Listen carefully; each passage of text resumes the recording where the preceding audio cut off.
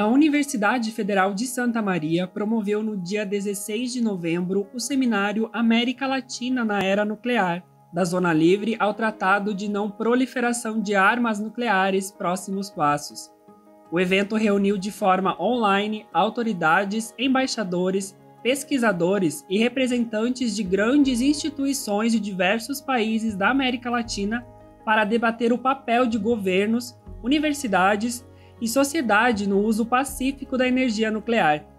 Na cerimônia de abertura, representando a UFSM, estavam presentes o ex-reitor da instituição, Odilon Marcuso do Canto, e o atual reitor, Paulo Afonso Burman, que realizaram discursos sobre os efeitos positivos da tecnologia nuclear.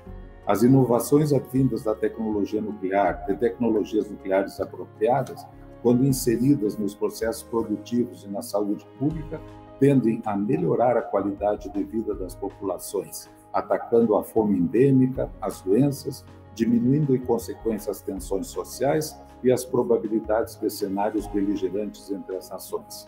A energia nuclear poderá desempenhar um papel de grande importância na luta contra o aquecimento global.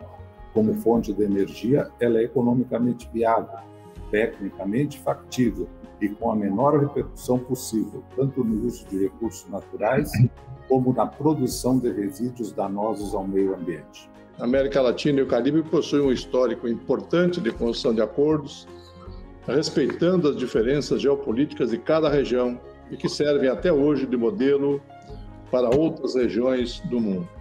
A Universidade Federal de Santa Maria não estando alheia a esta realidade, sempre se posicionou firmemente sobre o uso pacífico da energia nuclear. O debate e as contribuições dos cientistas sobre o tema podem ser assistidos pelo canal da UFSM no YouTube.